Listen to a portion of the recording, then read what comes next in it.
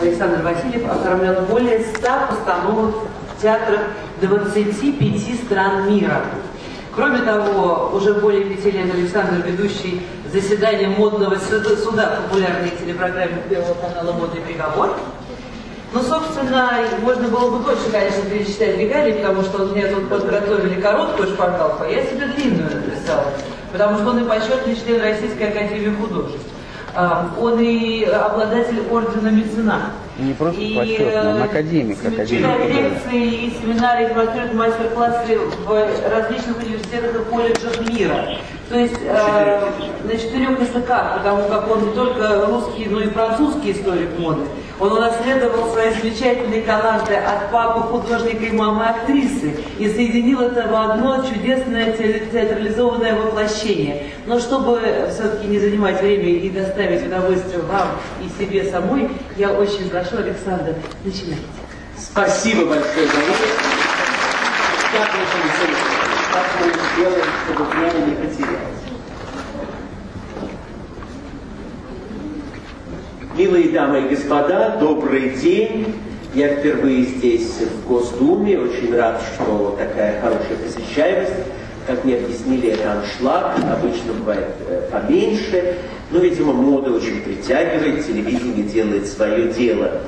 Сегодняшний мой спич, моя речь будет посвящена русскому стилю в моде. Это то, что, я думаю, волнует не только сидящих здесь в зале милых дам и господ, но, конечно же, и всю Государственную Думу. Дело в том, что сегодня Россия находится на своеобразном перепульсе своих дорог, и стиль и мода, безусловно, является прекрасным отражением действительности. Вчера и сегодня. Мода всегда была зеркалом истории. А русский стиль в моде, конечно же, изучен, но не до конца. Надо сказать, что русский стиль в одежде претерпевал в течение веков множество различных изменений. Первое было связано с тем, что на протяжении долгого времени, а именно до 17 века, в России портретная живопись как таковая не существовала. И исключительно российские костюмы были запечатлены иностранными путешественниками. Для начала я вам покажу несколько раскрашенных гравюр, которые показывают вам облик русских бояр в период 1600, простите, 1000, правильно, 1562 года. О чем здесь мы можем сказать? Ну, в первую очередь, о том, что русская одежда была непосредственно связана с тюркским влиянием. И когда мы говорим русский стиль в одежде, мы всегда должны вспоминать те века татаро-монголов, которые над нами пролетели не зря, и одежда россиян во многом напоминала одежду тех самых тюркских народов, которые пришли и владели крупнейшими территориями и городами России. Также на протяжении долгого времени огромное влияние Запада, а именно Западной Европы, приходило в Россию до Петра I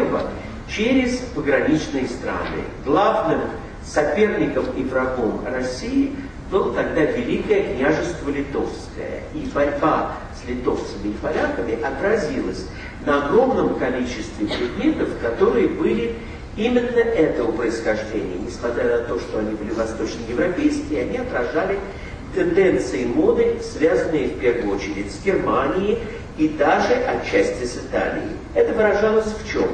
В диком пристрастии россиян к импортным тканям. Уже в XVI веке в России изготавливалось очень мало собственных тканей. Мы говорим о 500 лет назад. Но ткани в основном привозились из Османской Турции и из Италии. Это была торговля с венецианскими купцами, которые привозили ткани золотного содержания, то есть с большим процентом золотой нити, которые отображены на этом диапозитиве. Это то, о чем мечтала всегда россиянка и россиянин. Если вы посмотрите на этот костюм, который у вас вызывает, скорее всего, ассоциации с Дедом Морозом, безусловно, это и есть воплощение русского стиля. Что всегда любили в России? Блеск во всех формах и мех во всех формах. И если у человека нету этих двух содержимых, то в России это считается недостаточно парадно, недостаточно нарядно. Неудивительно, что и сегодня россиянки стараются одеться гораздо более эффектно и привлекательно, чем, например, их же сверстницы в других европейских странах. Это связано в первую очередь с процентным отношением россиян в России женщин и мужчин. По официальной статистике в России проживает около 55% женщин на 45% мужчин. То есть, если верить этой статистике, в России не хватает 17 миллионов мужчин для того, чтобы все женщины были счастливы. Поэтому женщины делают все, чтобы привлечь вот этот недостающий мужской потенциал путем своей одежды, своего макияжа, своих причесок. Короткие одежды в России очень не прививались. И иностранцы всегда поражали россиян своей, как им казалось, безудержной сексуальностью. В чем она выражалась? В ношении трико в виде мужских колготок. Это считалось недопустимо. В России всегда существует некое табу на мужскую одежду. Мужчина не должен показывать абсолютно ничего из своего телосложения. Женщина же, напротив, должна показать свою грудь, талию, бедра, если можно обнаженные ноги, это считается вполне нормально. В целом, в России никогда не было особенных цветовых предпочтений.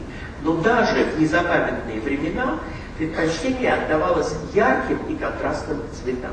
Почему в России, в отличие от других соседей, например, стран, которые живут в похожем климате, Швеции, Норвегии, где господствуют очень холодные цвета, в России всегда любили яркое, золотое, бордовое, красное, синее, зеленое. Это было связано в первую очередь, конечно же, с нашей природой. У нас 6 месяцев в году лежит снег. И на фоне белого снега и белой природы яркие одежды выглядят эффектно.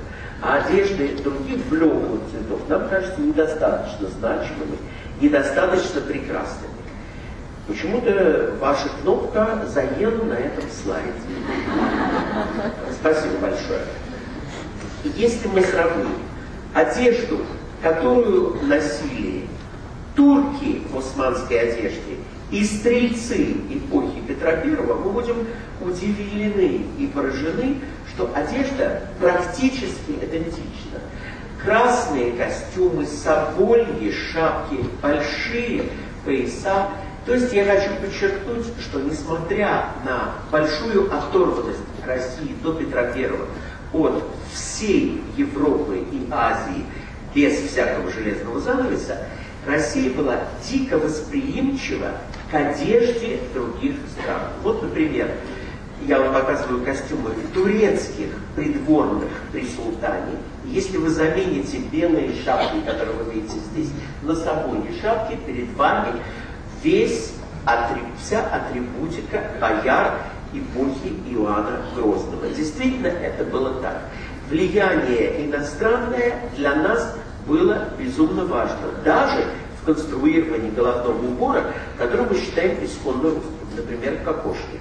Кокошники существуют такого разнообразного вида и таких разнообразных форм, что их нельзя подвести под единый знаменатель. В некоторых из них вы найдете отголоски скифских головных уборов, в некоторых немецких эпохи Ренессанса, в некоторых турецких а в некоторых манжурских из Китая. То есть в самой форме кокошника нету абсолютно какой-то национальной особенности, хотя они менялись очень сильно от губернии к губернии. К слову, вам будет интересно знать, что слово «кокошник» не русского, а тюркского происхождения. И слово «кокош» обозначает на турецком языке «странная птица». Именно так татаро-монголы обзывали россиян, видя у них на голове странные золотые конструкции, напоминающие им странное птичье оперение. В результате родилось слово, которое мы все считаем исконно русским, так же, как и слово «сарафан», которое происходит от тюркского слова «сарефан», что значит «старинное распашное одеяние». Мы же уверены, что ничего более исполненного нету. В чем же русская традиция, вы скажете, вот что-то он нам все рассказывает, а русская традиция где? Она, конечно, безусловно, в классических одеяниях бояр Романовых. Ведь главная идея государей, э, царей, а впоследствии императоров дома Романовых было походить на византийских императоров. Как бы мы ни крутили, но русская культура из-за своей приверженности православным традициям больше всего связана с культурой Константинополя. И Константинополь для нас всегда был лакомым кусочком. В свое время его хотели даже завоевать в эпоху Александра II. Ну и так далее. Идея Константинополя выразилась не только в шапке Мономаха, которую вы видите здесь, но и в обличьях, при, пришедших нам из византийской традиции и оставшихся у нас навсегда. В России испокон веков считается золотой самым красивым цветом. В отличие от многих других стран, где золото в таком большом количестве никогда особенно не интересовало людей. Перемены в русской культуре были связаны, безусловно, с Петром I. Он был первым русским государем, который показал россиянам возможность одеваться в европейский костюм. И если сегодня вы хотите спросить меня, как одеваются россияне, я вам скажу, в европейском стиле. Хотим мы это или не хотим, мы являемся зеркалом европейских мод в той или иной форме. Специальной национальной одежды у нас сегодня нету ни в такой форме. Но что у нас есть? Национальный вкус в одежде. В чем он выражается? В пристрастии к украшательству. Россияне обожают вышивки, аппликации, жемчуг и стразы, обожают парчевые ткани, как я сегодня, например, в пиджаке специально для вас от российского дизайнера Кирилла Косилина. Я стараюсь всячески поддерживать российских производителей в одежде, что бывает непросто, потому что сегодня Э, торговля еще не устроена таким образом, что вы можете приобрести себе российскую обувь, или российское белье, или, например, российские платья интересного вида. Особенностью русского стиля в женской одежде в XVIII веке был объем всех русских императриц. Русские императрицы были очень полными. И поэтому, несмотря на корсеты, которые присутствовали в то время, Мода этого времени старалась подчеркнуть женскую пышность. И сегодня в России очень любят пышногрудых женщин, женщин с пышными бедрами. Это, конечно, зависит и от русского питания. Наша кухня, которая построена части на смеси мучных и мясных продуктов, делает свое дело. Россиянки стройные до 35 лет – после 35 лет набирают стремительный вес избавиться, ну, не избавиться от этого бывает очень трудно. Такова статистика программы «Модный приговор». Уже в 18 веке идеи пропорций стояли очень-очень э, важно. В частности, каждый знает, посмотрите на костюм Елизаветы Петровны, вертикальные линии всегда стройнят, горизонтальные всегда полнят. Это так легко запомнить, что э, без этого просто нету даже никакого другого э, пропорционального отношения в мире моды. Я хочу вам напомнить, что мужчины до 21 века часто носили галстуки. Сейчас галстук остался только официальной одеждой. Ну, например, в Думе, например, в банке, например, в каких-то других официальных, при, при, э, при свадьбе, при похоронах, в каких-то важных таких официальных вещах. Но галстук играл очень большую роль. Это вертикальная линия, которая стройнила мужчину. Галстук в основном для стройности мужчины и носа. Надо сказать, что огромным влиянием на российскую моду было нашествие Наполеона Бонапарта.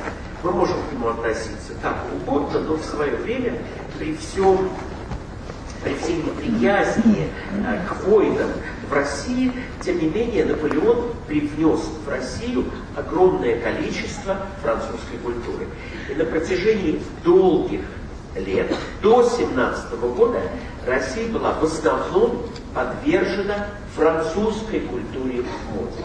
Сегодня я этого сказать не могу. Я бы сказал, что главным направлением в женской одежде в России является итальянское влияние на моду, а мужской одежде американское влияние на моду. Как бы мы ни хотели, другой альтернативы сегодня у нас не дано. В чем особенность русского стиля в XIX веке? Я иду быстро, потому что у меня мало времени. Ну, конечно, при всем копиизме русских модниц, которые перерисовывали французские журналы и одевались в своем стиле, было обилие драгоценностей. В России всегда жили богаче, чем в других странах. И те носительницы стиля, которые жили в столицах, в Петербурге и в Москве, никогда не экономили на драгоценностях. Примером является, конечно, одеяние российских императриц. Посмотрите на размер жемчуга, который они носили задолго до того, как Шанель объявит всему миру, что она изобрела жемчужную нить, это, конечно, производило огромное впечатление. В России до 17 года ценили бриллианты, начиная от 5 каратов до 35 каратов. Это считалось прилично. То же самое касалось и изумрудов. Все более мелкие камни были хороши для резки стекол, но вовсе не для ношения приличной женщины. Россиянки славились объемом своих драгоценных коллекций, и когда после 17 года, например, одна из русских аристократок, княгиня Лобанова-Ростовская, выехала в Швейцарию со всей своей домашней коллекцией, только аукцион ее драгоценностей длился три дня, потому что их было так много, и они были такими драгоценными. Что отличает русский стиль в моде XIX века? Отсутствие макияжа. Россиянки никогда до Октябрьского переворота не пользовались макияжем вообще. Чем пользовались? Кто пользовался макияжем? исключительно публичные женщины. Считалось, что если ты подрабатываешь где-то при вокзале, ты можешь нарумяниться и накраситься. Если же ты при дворе, ты должна сиять натуральной красотой. Как эта красота оттенялась? Кроме золота и бриллиантов, натуральными цветами. Россиянки всегда очень любили украшать себя натуральными розами, камелиями, жасмином, всевозможными вещами и очень ценили кружево. Кружево ценилось везде в мире, но россиянки очень любили французское кружево, но и жаловали отечественное, Михайловское, Вологодское или Елецкое кружево. Россиянки отдавали огромное предпочтение национальным шалям. Мода на шали пришла к из Индии, привезена была она Наполеоном, но в России были организованы две крупнейшие мануфактуры шалей. Берлинские шали и Колокольцовские, которые принадлежали брату помещицы.